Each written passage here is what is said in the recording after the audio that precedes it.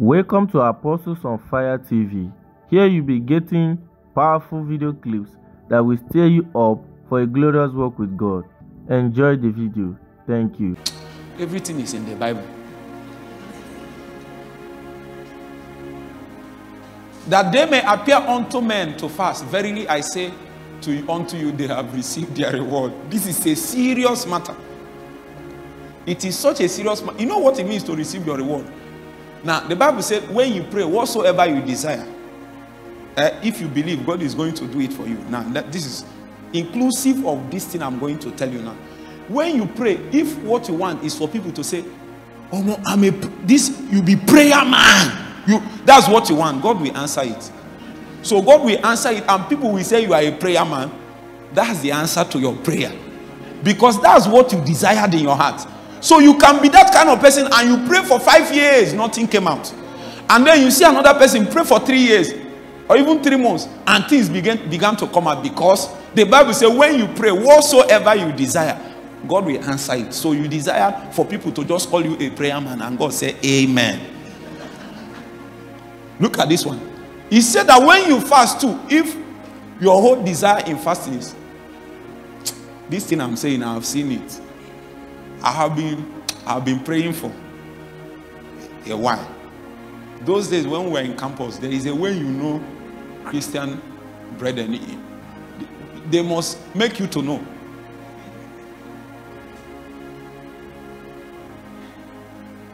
There is a way you keep your face. You you keep your face.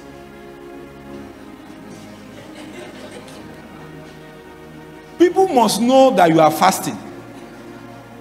If they don't know, how will they think you are making progress?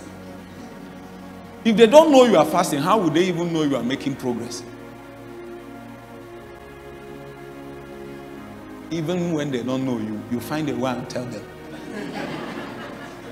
Have you not done it before? Are you looking at me as if I'm telling people something you have done? when you tell them, they will say, Wow! You can fast, you can fast. You have received your reward. That's your reward. As simple as that thing is.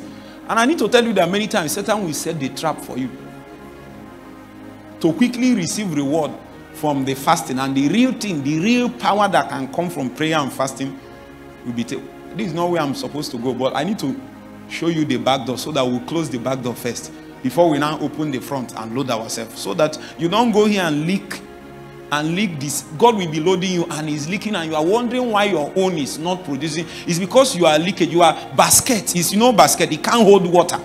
Even if you pour it to the brim, two people pour to the brim, the other one will leak. It's leakages. Many people leakages is their problem. It's not as if God is not giving you something.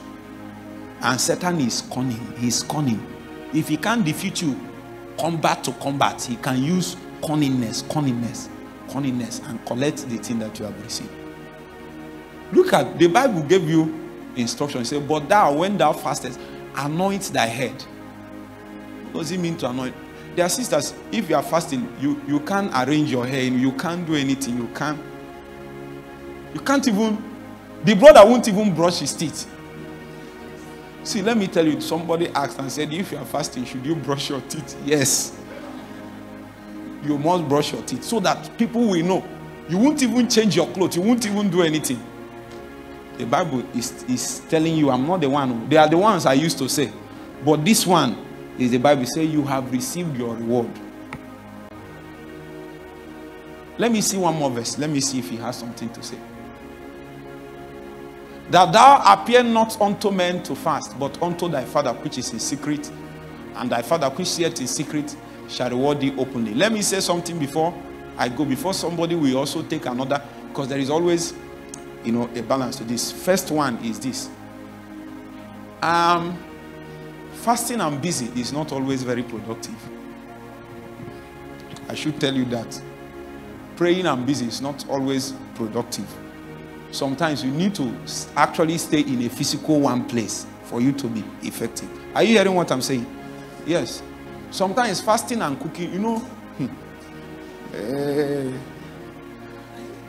sometimes you wake up in the morning, you want to fast. You are cooking, washing clothes, doing many things. Before you know it is six in the evening. Now, I'm not saying there is no measure of help, but it's not the same thing as just keeping your Bible, putting worship before you, and be praying, and you didn't come out till evening. Now, both of them has benefit, but it's not the same. What you can achieve with three days of this dedicated one, you might not be able to achieve it with fasting and busy for, for seven days. Because this, the, the longer you stay with God, the easier it is for the Holy Spirit to affect you. Sometimes when it begins to affect you, you, you quickly run away. Begins to affect you, go. Begins to affect you, go. I was reading a book, I've forgotten which one by Benny Hinn. He said that one of the times, as he stayed with the Holy Spirit, stayed for long, he wanted to leave. He said, the Holy Spirit told him, just a little more time. When I heard that, it changed my life. I said, Oh, so God will want to stay with you for a little more time? For some of us, we are already doing the right thing. Probably all we need is a little more time. Are you getting the point? This is the consequence of staying in the Word of God for, for long. Not, I'm not saying reading your Bible in the morning. Is good, is good, is good. Bible morning devotion is good, is good. But that's not what I'm talking about. If if that's the kind of life you want to live, I'm not sure this kind of conference is for you. We want world changers. We want people that bear solution beyond themselves. When you walk the streets and see what is happening, are you not moved in your heart? Don't you have compassion? Sometimes the reason why I pray the way I pray is not because of anything, it's because of compassion. I've seen many things that I'm, I'm powerless. I can't do anything. I can't do anything about it. But I know that God can do something. That if I can yield myself to God to the demands that will make me into that kind of person He will use, I will become a conduit of help. A compassionate man is not the one crying. A compassionate man, there is a difference between sympathy and empathy. It's not the same. You see something happening and you are crying. If you are compassionate, beyond the cry, you will do something about it. Every time Jesus had compassion on somebody, he didn't leave the person the same. He did something about that. So, how many things have you done for people when you see the situation? You say, hi, hi, hi. Many times when I see people's problem, somebody saw me when my father died, and he said that he said that I'm I'm hard-hearted, that my heart is too strong. Meanwhile, me, I'm crying more than them. The only thing is that tears did not come out from my eyes. I was using eyeglasses to cover my eyes. Because what was paining me is that how can something happen and you are helpless?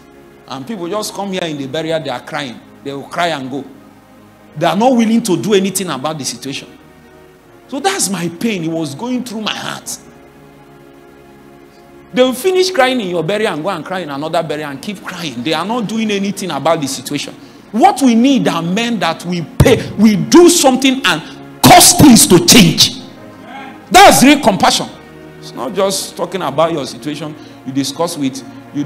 there is no need discussing with 10 people your situation that will not do anything about it.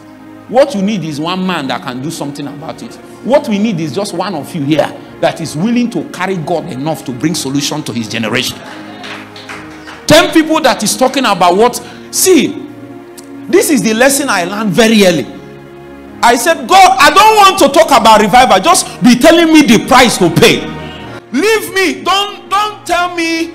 See, it is more powerful for a man to do what it takes for power to come to just be hearing about it and hearing the need that power can solve and hearing the things that God can do and the things that He said He will do. Yet nothing is flowing through your vessel.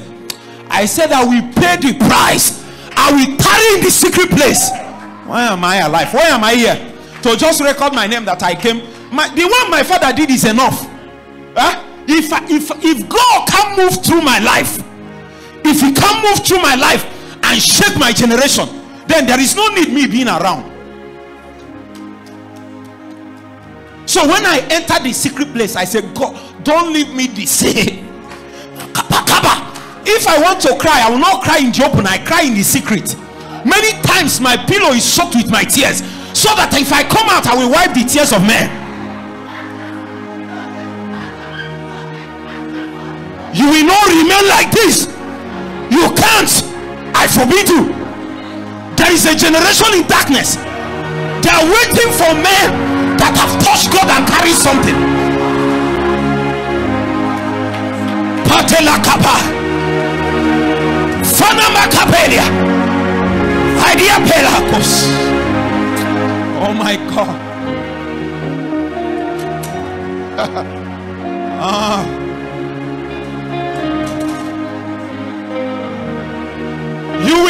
Will no more be powerless. effulgence of divine energy.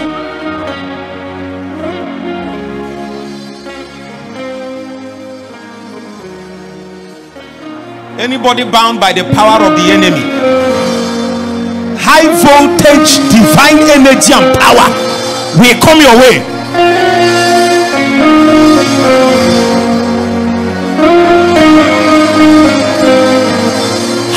Voltage high voltage. Your problem and situation will be shaken in its root.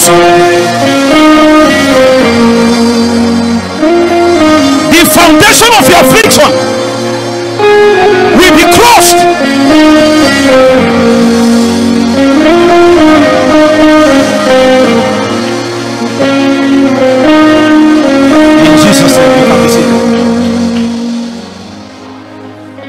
Thank you for watching. Do well to subscribe, like, share the video to your loved ones so they can receive what God is doing from this platform. You can also follow us on all our social media platforms.